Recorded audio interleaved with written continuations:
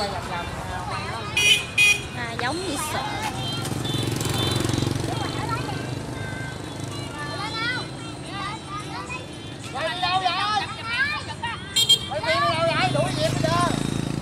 Nói ghé nè thôi hồi nó giật máy á. Ở đây nguy hiểm chứ ai da